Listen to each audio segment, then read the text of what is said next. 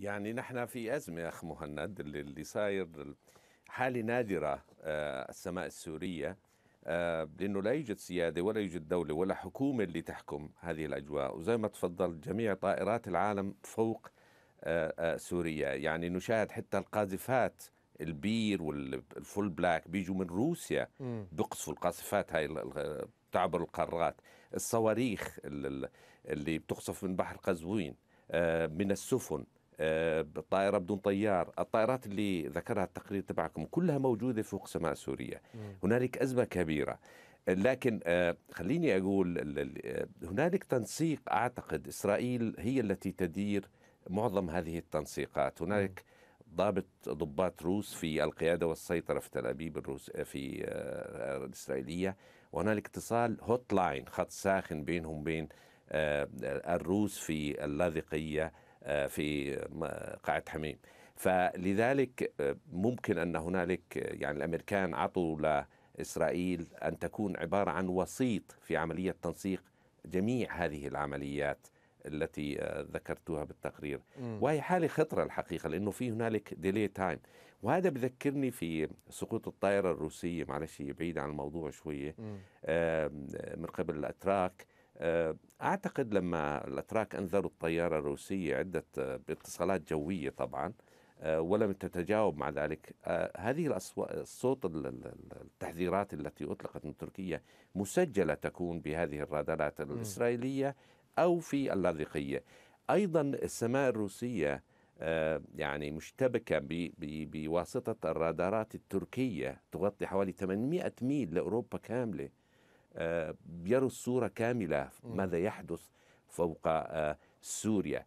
الوضع معقد لكن هنالك شبه تنسيق لكن لا أعتقد أنه كافي.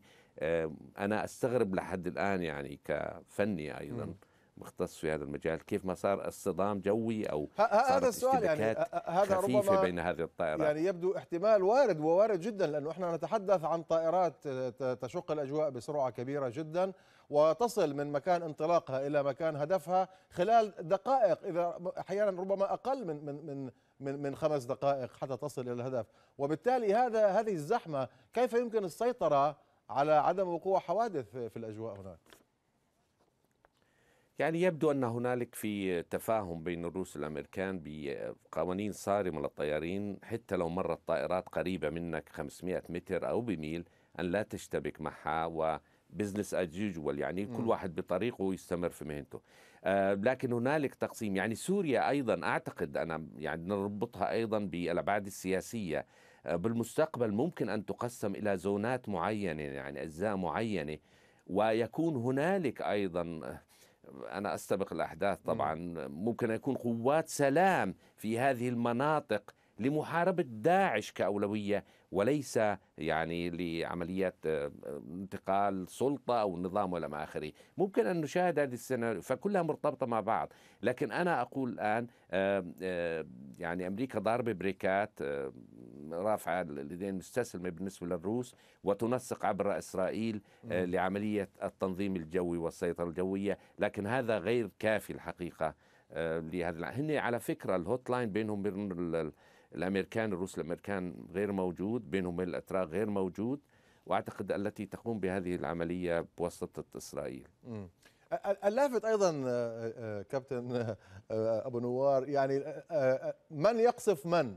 يعني أنت لديك الطيران الروسي الآن يقول إنه يقصف مواقع لداعش ولكن في الوقت نفسه أيضا كما نعلم جيدا يقصف مواقع تابعة للمعارضة السورية للجيش الحر تحديدا كتائب للجيش الحر تم قصفها من قبل الطيران الروسي. وفي الوقت نفسه روسيا تقول نحن ندعم الجيش الحر لمحاربة داعش. هذه مسألة. المسألة الأخرى إسرائيل تقصف يعني آه، مواقع وأهداف إما تابعة للنظام أو تابعة لحلفاء النظام الذي جاءت موسكو لكي تدافع عنه. يعني مسألة معقدة إلى حد كبير خاصة على المستوى العملياتي. وهذا صحيح 100% يعني نشاهدها أنها فرضا اغتيال آه، قائد جيش الإسلام من قبل إسرائيل خارج استخدم الصواريخ ال Spice. وهذه مداها القنابل بتطير لحالها مجنحة بحوالي ال 100 كيلو قتلوه به- بهذه الصواريخ يعني. آه، وهذا مع العلم الروسي أيضا والتنسيق معها يعني. أي طائرة بتطير؟